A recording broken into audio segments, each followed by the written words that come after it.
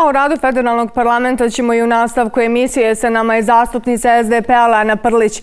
Lana, dobar dan i dobrodošli u BHT uživo. E, dobar dan, hvala na pozivu. Evo, Lana, opiman dnevni red je i danas pred parlamentarcima. E, prije ovih nekako tačaka dnevnog reda da malo da mi malo kažete koliko zapravo e, zasjedali dovoljno federalni parlament?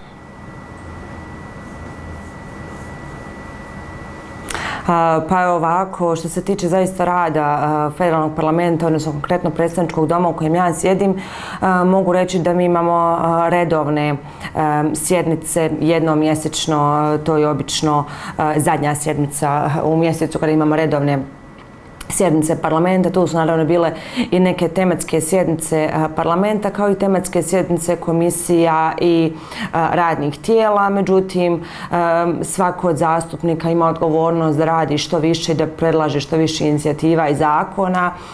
Mislim da imamo potrebu zaista da i više radimo i bolje radimo, ali evo ne mogu da ne pohvalim i zaista, iako dolazimo iz opozicije, nekako i neku saradnju i rad sa rukovodstvom parlamenta koji je, evo kao što se meni čini, za razliku od prošlog mandata, zaista uveo neki red i kontinuitet redovnih, pa barem te jedne mjesečne sjednice. Kako sam malo čas rekla, obiman je današnji e, red sjednice e, u parlamentarnoj proceduri, jer svakako bio i zakon o izmenama i dopunama zakona o unutrašnjoj trgovini. E, predlagač kaže da te izmene idu u pravcu ostvarivanja većih prava radnika, prije svega trgovaca. Slažite li se s time? I šta će konkretno biti regulisano ovim zakonom? Eh, znači, klub DF-a je uputio ovaj zakon eh, u proceduru i to još prije dvije godine i tek danas eh, smo ga vidjeli na, dnevnim na dnevnom redu i ono, ja sam konkretno glasala i za skraćenu proceduru, a nažalost kada skraćena procedura nije prošla, ona sa, ovaj prijedlog se automatski vratio u nacrt zakona.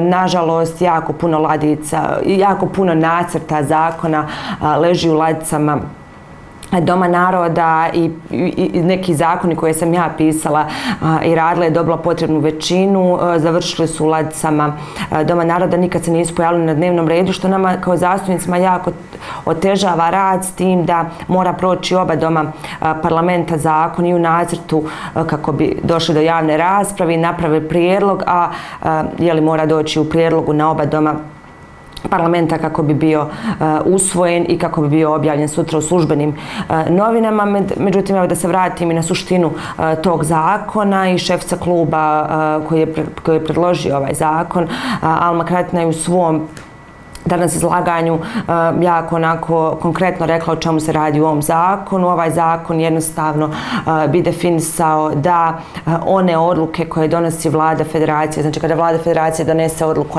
o neradnom danu, ali se to ne odnosi samo na javnu upravu, već da to moraju poštovati i konkretno u ovom slučaju trgovački lanci, jer već imamo jeli, individualne individualna rješenja na nivou općina, pa čak i iz grada u kojem ja dolazim, gdje je recimo nedelja neradna ili bilo koji ili neki drugi dan u sedmici što se tiče trgovačkih lanaca. Evo posjetit ću da je i davno, čak na početku mandata i moj kolega Irfan Čengić uputio inicijativu gdje bi se zabranio rad nedeljom. Međutim, evo kao što rekao, i još jedna inicijativa koja je završila u ladicama vlade i po kojoj se ništa nije uradilo. Šta nam to zapravo govori?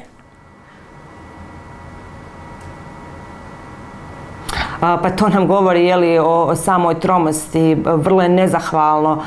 Konkretno, evo, ja sam zastupnica skoro četiri godine kraje, kraje mandata i vi sjedite u jednom parlamentu i predlažete nešto vladi koja je, da kažem, u najmanju ruku krnja vlada federacije, prije svega one u takozvanom tehničkom mandatu ove četvrtu godinu. Neki, neki ministri obnašaju funkciju i zastupnika eh, i ministara. Eh, mi nikada, evo konkretno ja nikada nisam glasala ni za ni protiv eh, ove vlade. One inicijative koje se donesu ili čak zakonska rješenja koja se donesu u parlamentu pri izradi novih zakonskih rješenja vlade federacije apsolutno ne uzme u obzir ono što ste vi radili i ponašaju se kao da su tek jučer tu došli.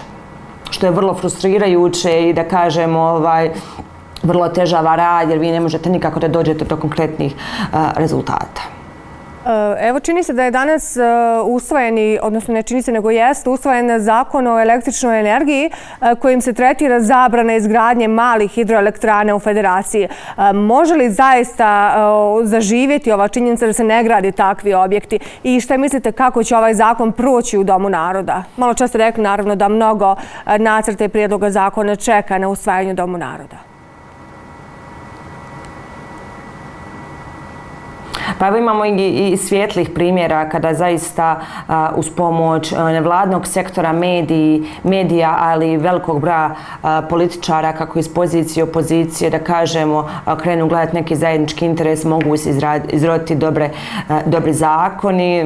Nije sve tako crno što se tiče zakonskih procedura i zaista je bilo dovoljno dobrih, odnosno nedovoljno, nedovoljno zakonskih rješenja. Mislim da je moglo biti još više više i cijela ta tromost u stvari u, u, u, na, kraj, na kraju dana zaista da motiviše što se tiče konkretno zakona o a, električnoj energiji, odnosno a, zabrane gradnje mini a, hidro hidroelektrana. Danas smo usvojili prijedlog, mi znamo da je on bio u nacrtu u jednom i drugom domu. Danas smo ga usvojili i u prijedlogu, na što sam ja vrlo ponosna i sretna, s obzirom da smo imali 63 glasa za u parlamentu i par suzdržanih. Samo nije bilo glasova protiv koliko sam ja mogla da vidim na, na, na ekranu. Vrlo brzo je to prošlo, ali vjerujem da će biti dostupno i javnosti. I ono što mi je, što mi je zaista bitno da, da smo usvojili ovaj zakon i na jedan način, odnosno zaista zaštitili, odnosno pokušali zaštititi male rijeke, odnosno rijeke koje ne pripadaju takozvanim A kategorijama izabrali izgradnju mini hidroelektrana e, do 10 kWh. E, interesantan je bio i nacrt zakona koji se odnosi na zloupotrebu korištenja službenih automobila. Malo čas sam čula da su vozila ne znam, preko stotinu hiljada maraka, da nema jasan spisak službenih vozila. Vrlo interesantan.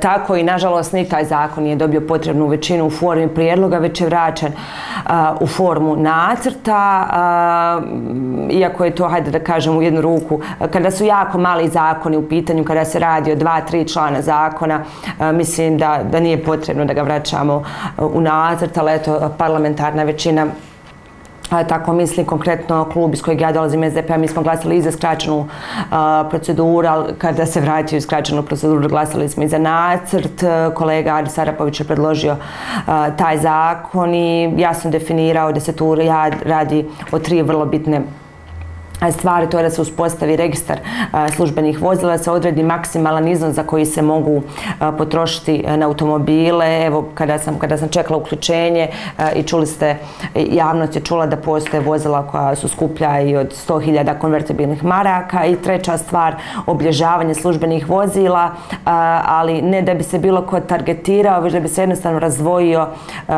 razdvojili oni koji zloupotrebljavaju i oni koji ne zloupotrebljavaju službena vozila. Isto tako sa zastupnicima. Ja ne mogu da prihvatim da, da kaže neko da smo svi isti. Ja mislim eh, da, da nismo svi isti, da postoje zastupnici zaista koje, koji rade svoj posao. Da li se meni sviđa, eh, sviđaju njihova zakonska rješenja ili ne sviđaju, to je, to je druga E, e, to je druga stvar, ali e, mislim da moramo razvajiti one za koji zaista rade, dolaze na sjednice, radna tijela, dostupni su vama mediji, dostup, medijima dostupni su javnosti i oni koji jednostavno prošetaju, da ne kažem, prespavaju četiri godine mandate. I neću nikada pristati na to da, da, da sam ja ista kao on, recimo. Da. E, na dnevnom redu zastupničkog doma je i etički kodeks. Na koga se sve on odnosi?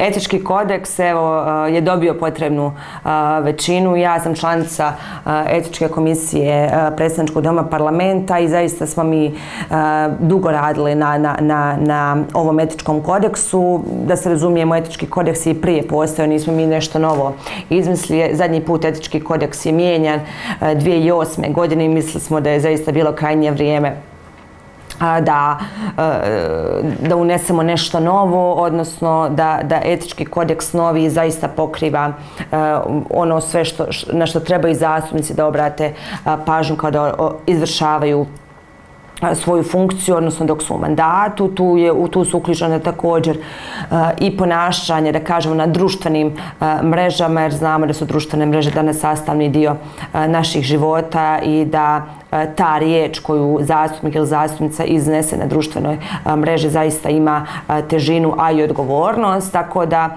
moramo, naravno, ukoliko je identitet osobe provjeljiv, ukoliko su to oficijalni profili, odnosno, odnosno stranice na, na društvenim mrežama i također ono što je interesantno, oko čega je bilo malo više i da kažemo diskusije, discipliniranje, ono što je bio i cilj ovog novog etičkog kodeksa je discipliniranje zastupnika. Da kada se ne jave da, su doš, da, da neće doći na posao, Konkretno naš dom ima 98 zastupnika, na nekim glasanjima nas ima 60, na nekim 70, a evo na primjer eh, evidentiralo se 75 zastupnika, da je tu od plus 8 eh, ili 9 koji su pravdali eh, svoje odsustvo, nas se postavlja pitanje gdje su stvari ostali zastupnici, tako da nam nerijetko fali kvorum za rad, kako parlamenta, E, tako i jedne, dvije ruke kako bi prošlo neki e, zakoni, e, zatim padaju nam kvorumi na, na radnim tijelima i mm, jedna novina je u stvari da u slučaju tri uzastopna, nenajavljena ili neopravdana e, odsustva, zastupnik neće, neće, zastupniku neće biti e, isplaćen dio naknadne za naredni šest mjeseci, što evo ja lično jezička komisija smatra da je vrlo pošteno, jer kada neko ne dođe na svoje